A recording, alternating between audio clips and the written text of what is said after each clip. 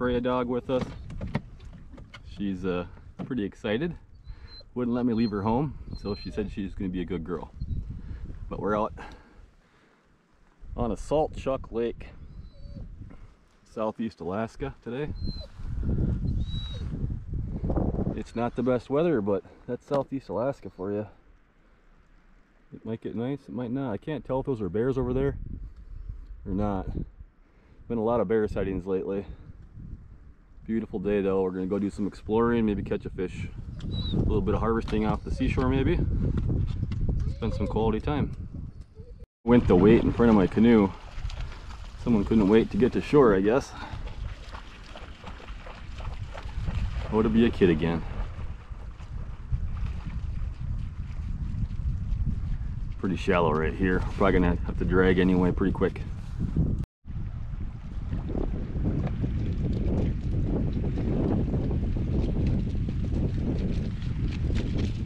Stick games begin. Can't start quite yet though for you.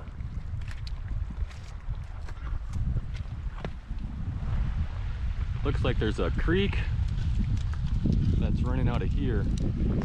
I haven't checked to see. I'm, I'm guessing it's a creek. If it's not salt water, then it should be a creek. But we're in this salt chuck Lake. It's probably has about a five foot tide. It's not like the main ocean where it's probably, you know, 18 to 22 feet. We got to get the canoe up high enough that it won't float away in the night. But we need to find some place to camp too so I'm thinking up inside those trees somewhere would be a good spot. There's some sandhill cranes out there.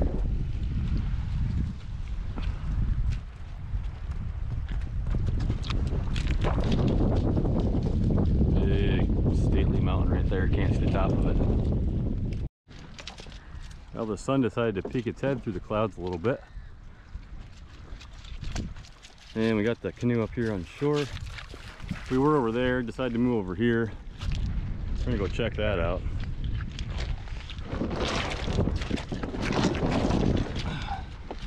Canoe should be fine.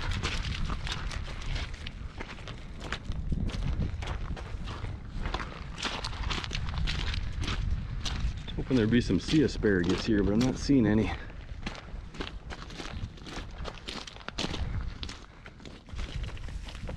Got deer tracks.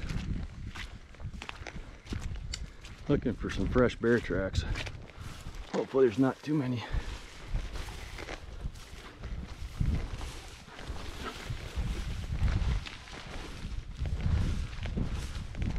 This grass will make you wet quick.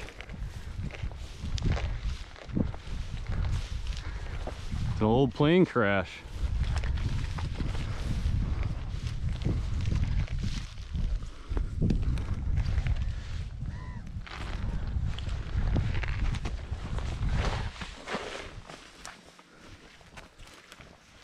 Look at that. Oh, dirty dog. Grass will clean you off.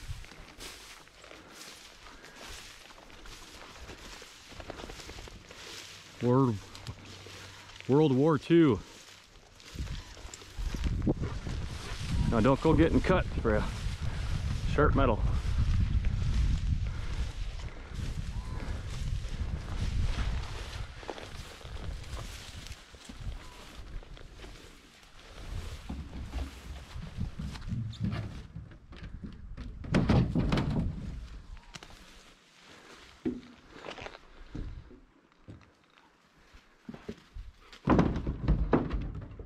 Class of 13. Let's see if I can not slip like you did.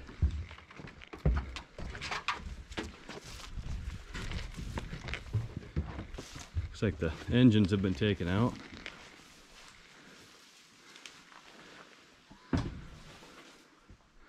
Lots of names carved in here.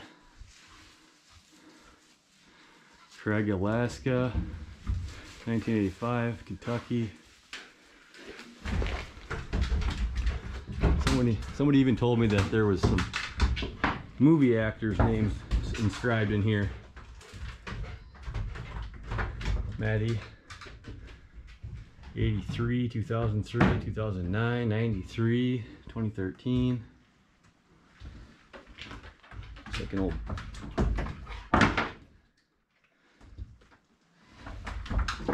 Not much, not much left. It's been picked through pretty quick.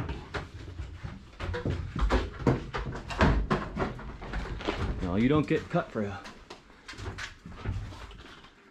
Guess this would have been the cabin right before the pilot's seats.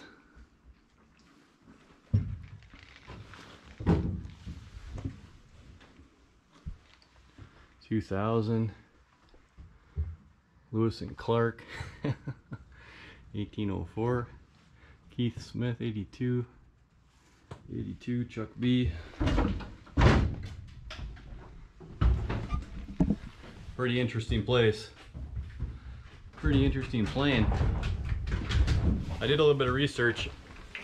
The airport's not too far from here. I'm not sure if it was in then at the time. It may have been, but it didn't make it. Only a few miles from there by air. So they touched down here on this salt chuck flat and nobody died, but it was a World War II plane. I'll try to look up some more information and put in some subtitles for you. But uh, my parents, today is their anniversary. So happy anniversary, mom and dad. I'm sure you're having a great day in Minnesota. I'm sure that you guys had a nice dinner and probably settling in for the night now, but we love you. Love you from Alaska. Now we gotta figure out where to camp.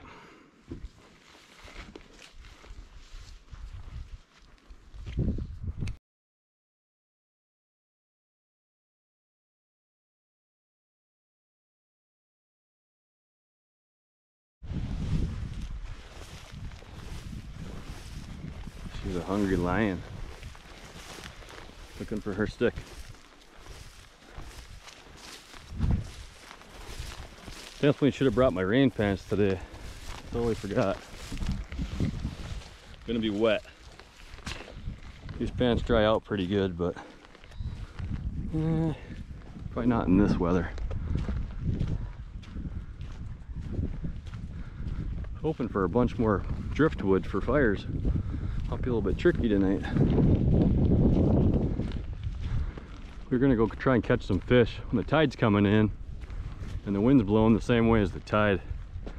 It makes for a tough paddle. Freya says we can do it.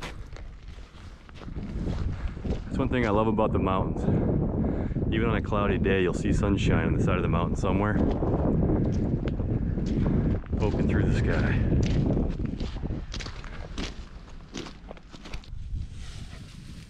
Come on, let's go. Come on, in the boat.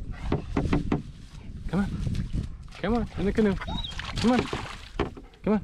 Let's go explore. Let's go explore. Come on. I know you can explore on land. Come on. Here. Come on.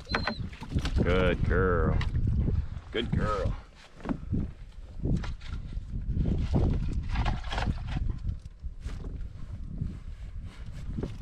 Let's go see what we see up here.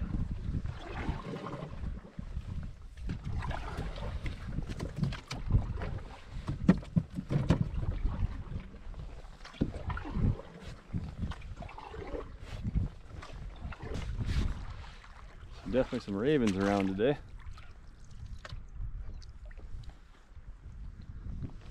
There's not a fresh bear kill. The Fawns are dropping pretty pretty quick right now. And the deer like to come out and forage here in the shore. Lots of lots of greens, all kinds of stuff. I haven't seen any fish jumping, but I wonder if there's some in here, huh, Freya? Let's go tuck up in here in one of these bends and see if we can't catch a fish. What to do, huh, Freya? Should get out. Explore on foot. Let me know if there's any bears in there.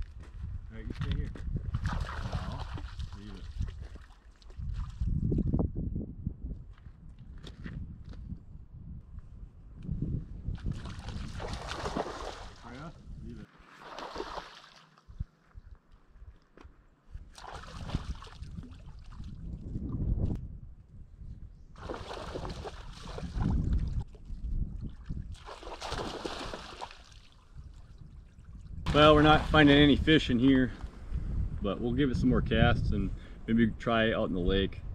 I would think there'd be some in here, but we're gonna find out.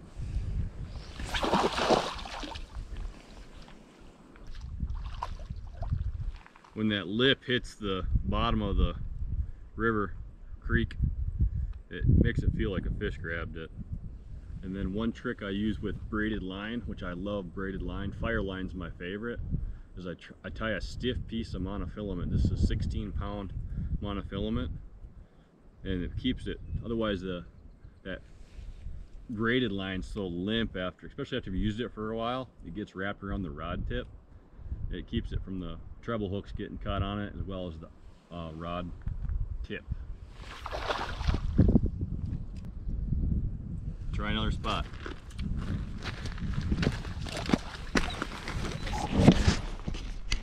This is all tidal area. You can tell by all the slippery rocks. It's underwater for a good portion of the day. So we're gonna have to tie the canoe up pretty high tonight. So it's there in the morning. Spot didn't work out. It's way too shallow, way too gradual. We'll try the, the creek again a few times. Well, it's been frustrating so far. Um, no fish, except for one little one. Um, trying to get this fire going. We've had almost an inch of rain in the last day here in southeast Alaska. Um, I did get a fire going. Hopefully it stays going. We can have a hot meal tonight, but no guarantees. With wet wood, it'll it'll burn, but it doesn't burn super hot. So I'm gonna set a tent up in the woods. We're gonna go from there.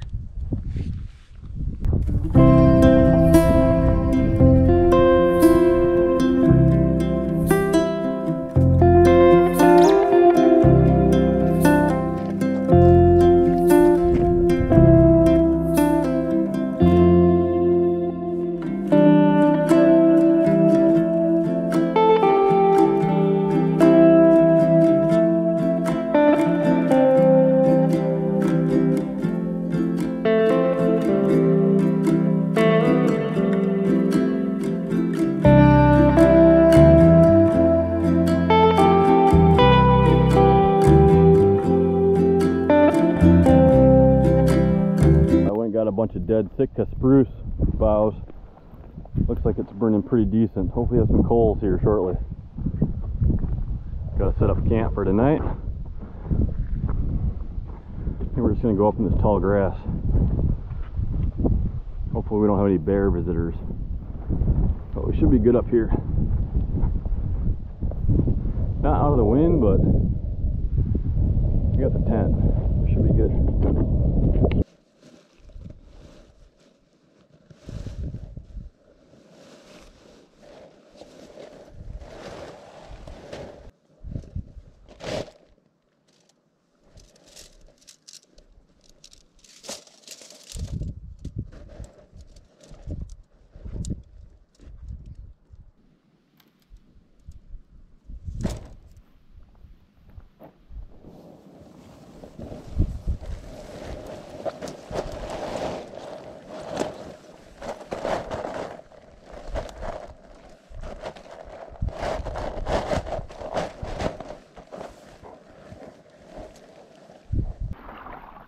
Well, I seriously misjudged the high tide.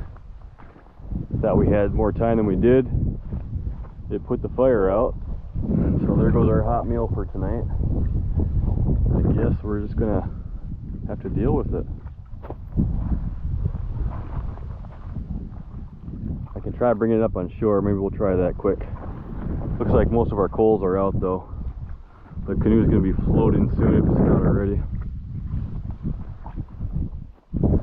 Our tent should be okay. Lots to learn.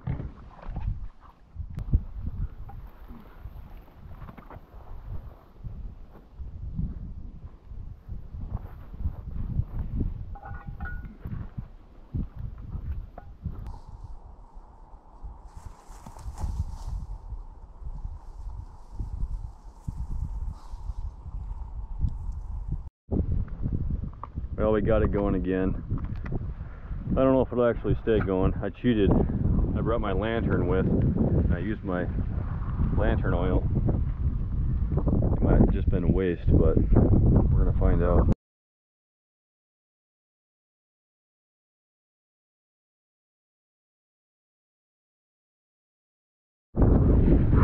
Well, normally I cook over the coals, but tonight we're desperate. I don't know how long this fire is gonna stay going. So I'm gonna put the pan on there now and we're gonna take it from there.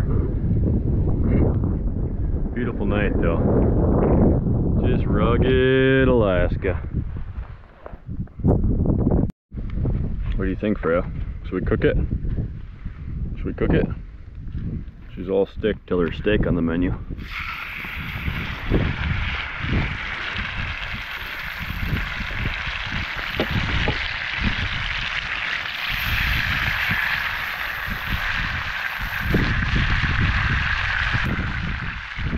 Time for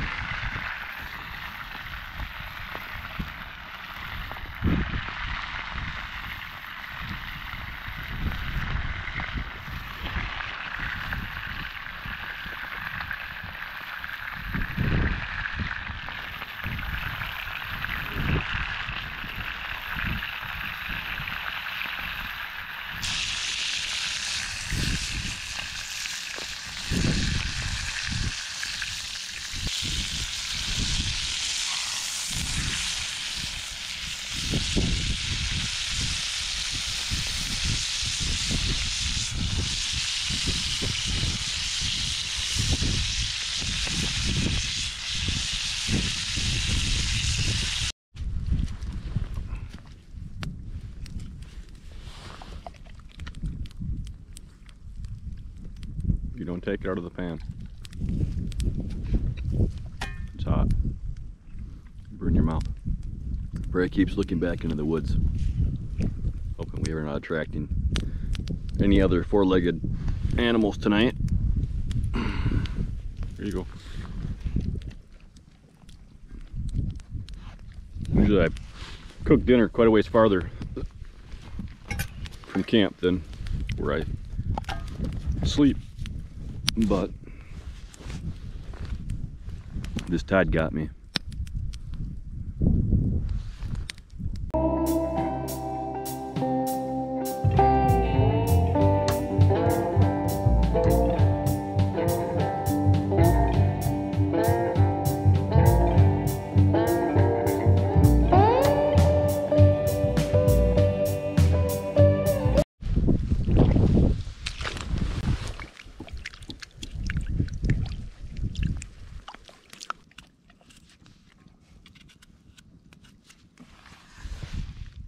Salty?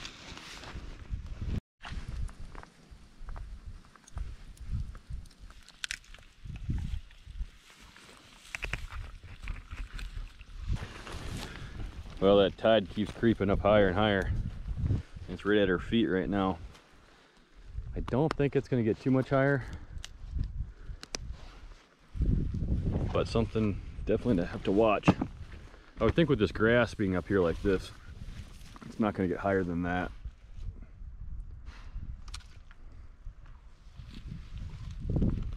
But we'll have to keep an eye on it. You don't want to wake up to no canoe. I already went swimming for my other boat this week. I was out on a point fishing and the wind was blowing pretty good and uh, caught a couple cutthroat trout. I had them up on shore and I looked back and my boat was floating away. I had to swim for it. That would have been a good video, but such is life. Well, there's things you can control, things you can't. I can't control the tides. That water came right up into the fire. I don't have a bag to put the potatoes in, so I can't save them really. I guess I can just leave them in there, but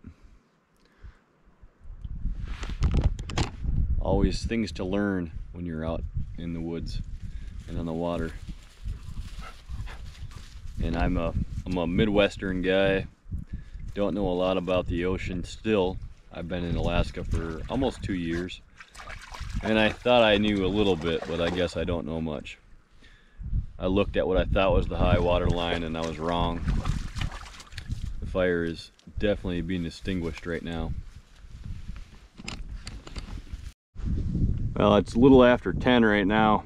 Our campsite got swamped out and we're the last place we thought we'd be, which is back in the canoe. Freya doesn't seem to mind. We have work tomorrow.